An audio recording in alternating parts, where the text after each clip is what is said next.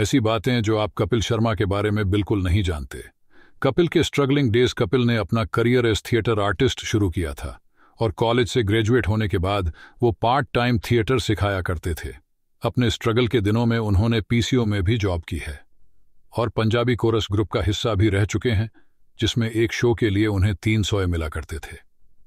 ऐसा करते करते कपिल ने दस साल तक स्ट्रगल किया।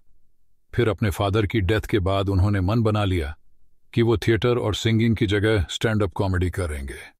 इसी वजह से उन्होंने पंजाबी कॉमेडी शो हँसते रहो में हिस्सा लिया और उसके बाद Kapil the great Indian laugh challenge के लिए ऑडिशन दिया, जिसमें उन्हें रिजेक्ट कर दिया गया। पर कपिल ने हार नहीं मानी और एक बार दोबारा ऑडिशन दिया और इस बार उनका शो में सिलेक्शन पक्का हो गया। कपिल उसके विनर रहे और उसके बाद से ही उनका करियर चल पड़ा। कपिल की प्रायोरिटी शुरुआत के दिनों से ही कपिल ने अपनी फैमिली को फ़र्स्ट प्रायोरिटी दी है। कपिल के फादर को कैंसर था। उनके इलाज के पैसे जमा करने के लिए कपिल दिन में तीन डिफरेंट जॉब्स किया करते थे। कपिल ने एक इंटरव्यू में बताया था कि उनकी लाइफ का वो सबसे मुश्किल टाइम था, क्योंकि वो जितनी भी मेहनत कर रहे थे, उतने से भी उनके फादर का इलाज नहीं करवा पा रहे थे। कपिल के पास इतने पैसे नहीं थे कि वो अपने फादर को हॉस्पिटल में प्राइवेट बेड दिला सकें। कपिल ने अपनी पूरी कोशिश की, पर वो अपने पिता को नहीं बचा पाए। फिर जब उन्होंने अपना करियर थिएटर से कॉमेडी में शिफ्ट किया तो उसके बाद भी उनकी पहले प्रायोरिटी उनकी फैमिली ही रही। लाफ्टर चैलेंज जीतने के बाद उन्हें जो भी पैसे मिले थे, उससे उन्होंने अपनी बहन की शादी करवाई। फिर जैसे जैसे वो अपने करियर में आगे बढ़ते रहे जैसे जैसे वो अपनी माँ के सारे सपने पूरे करते रहे, कपिल ने अपनी माँ के लिए एक नया घर बनाया। उन्हें कई फॉरेन ट्रिप्स पर लेकर गए और साथ ही साथ उन्हें इंडस्ट्री के सारे मशहूर सेलिब्रिटीज से भी मिलवाया, जिसमें से एक थे शाहरुख खान, जो उनकी माँ के फेवरेट एक्टर।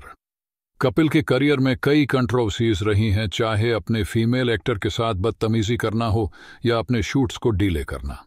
कपिल पिछले कुछ टाइम से कॉमेडी से ज़्यादा इन कंट्रोवर्सीज की वजह से न्यूज़ में रहे हैं।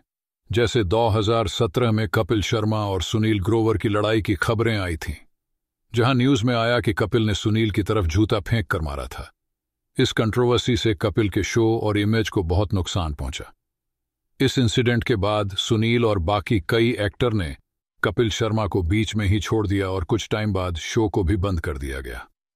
अब जब 2018 में कपिल अपना नया show family time with Kapil Sharma से वापस आए ही थे कि उन्होंने ट्विटर पर लालनी नाम के जर्नलिस्ट को अब यूज़ किया। कपिल अभी ठीक स्टेट ऑफ़ माइंड में नहीं है और अपनी बात को प्रूफ करने के लिए उनके पास कुछ प्रूफ नहीं है। डिप्रेशन फिरंगी मूवी के ट्रेलर लॉन्च के दौरान कपिल ने कन्फ्रेंस किया था कि वो डिप्रेशन में थे और बहुत शराब भी पीने लगे थे। इसी वजह से उनके सारे शूट्स कैंसिल हुए, जिसके कारण वो और डिप्रेशन में चले गए। और रिसेंट उनका दोबारा कहना है कि वो डिपेंड हैं और उनका स्टेट ऑफ़ माइंड ठीक नहीं है। सबका मानना है कि इन सब चीज़ों की शुरुआत सुनील और कपिल की लड़ाई से हुई।